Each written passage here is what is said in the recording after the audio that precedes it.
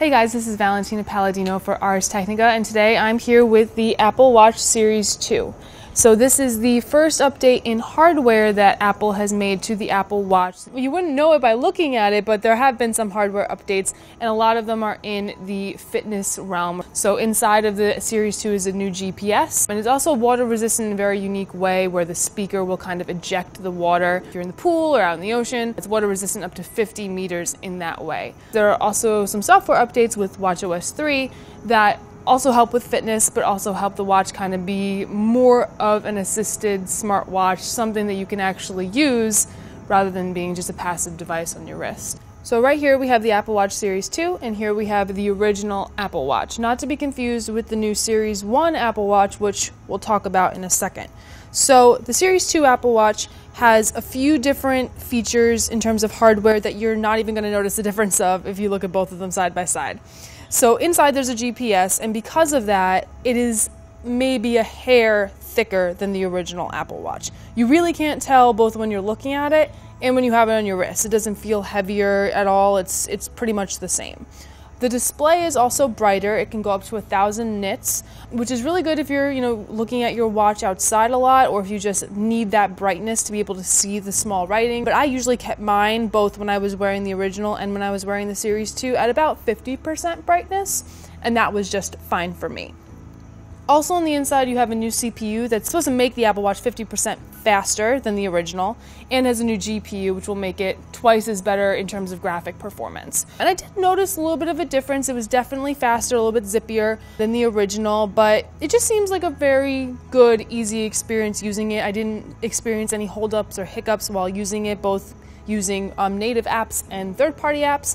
Um, so, overall, the experience was really good in terms of the performance upgrades. So when Apple debuted the Series 2 watch, they also announced the Series 1, which is a little bit different than the original.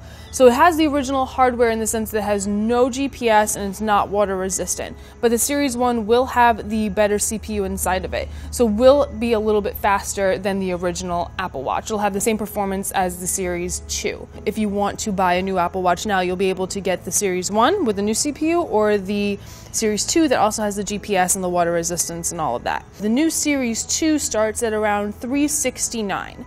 Um, so that's going to be your benchmark for the base model of the newest Apple Watch. So let's talk about the water resistance on the new Apple Watch. So this is the native Apple Workouts app. And now that is water resistant, you can track both pool swimming and open water swimming. Open water swimming will use the GPS automatically and pool swimming will not. You just kind of tap it. With this one, it'll ask you the pool length, which is really great because everything that can track swimming, every tracker that does that, it will ask you the pool length, but you can go down to literally one yard length. Um, nobody's really going to be practicing in a kiddie pool, but a lot of the fitness trackers that can track swimming will kind of stop you at around maybe 18 or 20. If you're practicing in your own personal swimming pool or a friend's swimming pool that's just, you know, a backyard pool, not a full length professional pool, you can get more accurate, accurate results by putting the exact pool length. And if I were to hit next, it would just start the workout. So if you pull up from the bottom, there's this little water droplet here, and that will activate the water mode. And you'll notice that by the little water droplet on the top. Now, if you were to tap the screen, see I'm just trying to move it around, trying to swipe, it won't do anything. The screen is completely locked and the device itself is now in water mode where it won't be affected by any water that comes in it.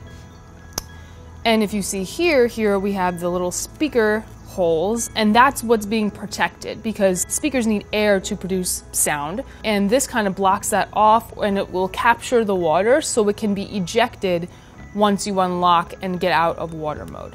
So, how you do that is that you just scroll on the digital crown completely until that goes away. And if you heard that little sound, that was the device ejecting the water.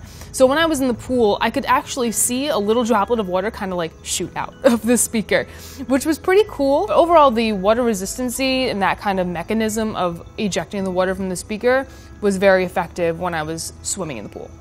So, the workout app gives you a lot of options at the get go to just record certain workouts. You have a lot of indoor and outdoor options for things like running, walking, cycling, and then Apple also includes things like a rower, stair stepper, and obviously the pool. So, these are just workout profiles that you can choose from really quickly.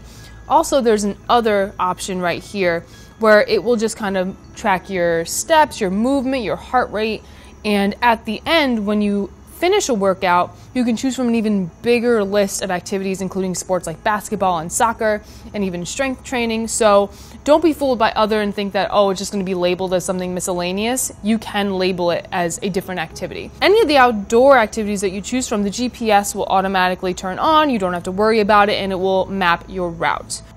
So, the new onboard GPS in the Series 2 is what Apple calls an assisted GPS, which means that it uses the GPS's power, Wi Fi, and a mix of locally stored data, satellite data, to locate you and keep your position throughout different activities. So, if we were to start, let's say, an outdoor walk, um, I can choose a goal Usually I do open goal. Um, you can choose from you know distance, how many miles you want to go, elapsed time, or calories burned. Most of the time I either do elapsed time or an open goal. And if you just press start, it'll count you down from three, and you can just start. There's no waiting for the GPS to turn on. And as you walk, as you run, as you exercise, it'll keep finding your location using a mix of that GPS, Wi Fi, and local data so that even if you go in like a tunnel or somewhere where you're going to easily lose GPS, you will still have your location when you go and look at that map after the fact. So it wasn't a very long walk, but when I go into the Apple Watch and end the activity, it'll give me just a little bit of a summary of what I did and I can save it or discard it. And since that was an outdoor activity, when I go into the activity app on my iPhone, I'll be able to see the map of where the GPS was tracking me. And in my experience, it's been pretty good. I mean, it also is color coded so you can see where you were moving fastest, a little bit slower, and where you were paused um, if you need that type of information if you're a runner. And the battery life is a big thing with the GPS because a lot of GPS devices are kind of drained because the GPS uses so much battery. With the Apple Watch, it, the general battery life is about is about two days if you're not using the GPS. And if you're using the GPS, you'll be able to use the GPS for between 30 minutes to 90 minutes during one day and the battery life shouldn't really be affected if you're within that range. And in my experience, that has been true. I used it for about 30, 35 minutes one day, um, tracking two separate activities. And the battery life really didn't take a hit, which was really good to see. And if you're using the GPS to kind of track a race, like a 5K, 10K marathon, the Apple Watch will track it consistently using GPS for 5 hours and 15 minutes is what Apple will um, estimate the battery life will last. There's also a power saving mode that turns off the heart rate monitor, so that will give you a little bit of extra time if you really need it if you're doing something like a marathon. And here you have something new that's in um, WatchOS 3, these little quick start menus. So, you know, I did a lot of elliptical workouts in the past week mixed with running, and one that was 30 minutes. I had a goal of about 30 minutes on the elliptical, and then I had an open goal. So these are the quick start ones where I won't even have to choose a goal. I won't have to like do that extra step. This will, if I were to click on this, it would just immediately start the workout. Overall, the workout app is really easy to use, and all of that information automatically goes into your daily activity goals in the activity app here. Same goes for third party apps that are compatible with HealthKit. All of that activity that you record via the watch with that third party app will go into your activity score. So this is just kind of a abbreviated version of the activity app within the iPhone. Here you see like where I am with my move goals for the day, how many minutes of exercise I've done. Standing, it has it has an automatic goal or a default goal of 12 hours. You stand for at least 1 minute and it will give you little reminders of that too. There's some hourly graphs here, and then you have your total steps, distance, and then little snippets of my workouts I've actually recorded today. So a different app that is it's its own separate thing is the Breathe app. And a lot of fitness trackers are doing this now. They do guided breathing, breathing sessions. Fitbit added this to um, a couple of its newest trackers. And essentially, the Apple Watch will guide you through guided breathings where you'll see you have seven breaths in a minute. And if you wanted to do up to a five minute um, session where you just focus on your deep breathing, the watch will remind you of to do it every once in a while, but you can turn those reminders off. However, I did like this experience with the breathing app more so than the Fitbit breathing experience because this uses the haptic feedback to kind of tap you as you need to inhale. So you can completely look away from the watch. You can close your eyes and you will know when you need to inhale by the um, haptic feedback, and then it will disappear when you need to exhale. You don't need to actually look at the watch while you're doing it. One issue I did have with the workout app is that there is no auto recognition of activities. With things like Fitbit devices, they have this thing called Smart Track where for certain activities, very common ones like running and walking and cycling and things like that, it will automatically track activities that you do if they're over 15 minutes or so. And that's really convenient if you're someone like me and every once in a while you'll forget to go look at your wearable on your wrist and start an activity manually when you're doing it. But when I did have my briefing with Apple, we did bring up a good point in that auto activity tracking really only works when you're moving your arm with certain um, with wearables because most of them are on your wrist. So it would have to be an activity where there's active arm movement and recognizable arm movement. So I do hope to see that type of a feature come to the Apple Watch eventually because I think it would make the workout experience even more seamless, even if it did only work for things like running and walking. And I should mention in the activity app is that if you were to swipe here, you can share your activities with family and friends um, who are also using the same program. So that's a new feature that we have with the activity app with WatchOS 3. So, one thing that kind of works in Apple's favor when compared to other fitness trackers is that there are a lot of third party apps that both integrate with HealthKit and now have their own Apple Watch apps. That even if something doesn't have an Apple Watch app, if it integrates with HealthKit, all that activity that you record via your phone will sync up with your activity goal, the activity app. But I tried out a couple of third party apps that are actually available for the Apple Watch. And it's very hit or miss. So, for example, one decent one is the Nike Run Club app or the Nike Plus Run Club app. Um, and this is the workout app that comes with the Nike Plus version of the Series 2 Apple Watch, but it can be downloaded onto any Apple Watch. So it really is just a running a running tracker. So here my last time I did this I was indoor, I was on the treadmill, so you can easily turn that on or off and then you can select your playlist if you're using that via the app. And here, this is my last one. You can see your history here. Um, you can also tap to see all if you wanted to see more of them. But if you were just to start that, it'll just start an activity. So it's very simple, it's very basic. It's what you can do within the mobile app as well. I did find that it was a little bit off in the distance calculations versus the workout app, but not by much. So if you use the Nike Run Club app regularly, if that is your app of choice, you have a little bit of a remote control here in the Apple Watch app version of it. If you were to just force touch, you can end it. So, a lot of the fitness apps that are available for the Apple Watch basically make it easier for you to use on your wrist so you don't have to go into the phone to start different activities. Other ones I didn't have as much of a good experience with. Something like this, like the swing analyzer. I went to the driving range to try to try this out to see if it could analyze my swing.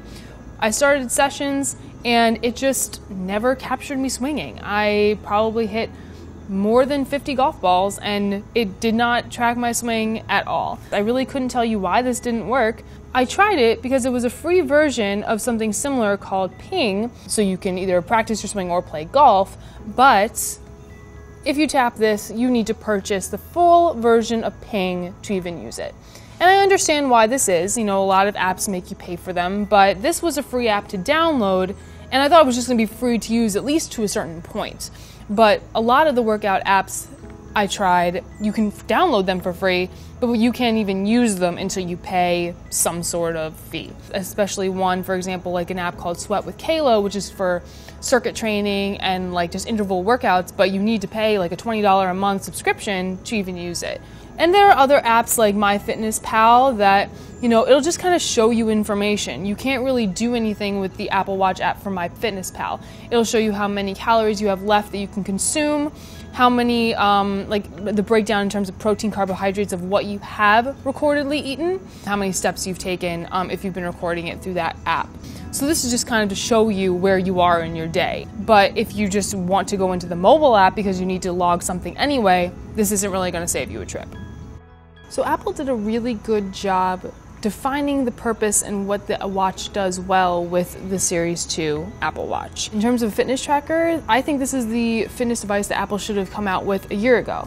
Added features of the GPS and the added water resistance um, and the swim tracking those are really important features for a lot of athletes and just regular people who want to do things outside more regularly. And the workout app and the activity app working together, it's a really good experience if you're just tracking regular workouts. And it makes things more clear when you're looking in your iPhone at the activity app and you want to look back at your stats. And it's very well laid out. It's a very good experience in terms of a fitness tracker. Are there some features that I would have liked to see? Yes. Something like, you know, auto tracking activities. You're not going to be able to track sleep with it because it can't constantly work overnight and you get the same battery life. But Apple is doing what it did with the iPhone and it's banking on the experience. The experience is very seamless. If you use an iPhone, it's going to be super seamless back and forth um, communication of data between your iPhone and the watch, not just with fitness, but with all of your other apps as well.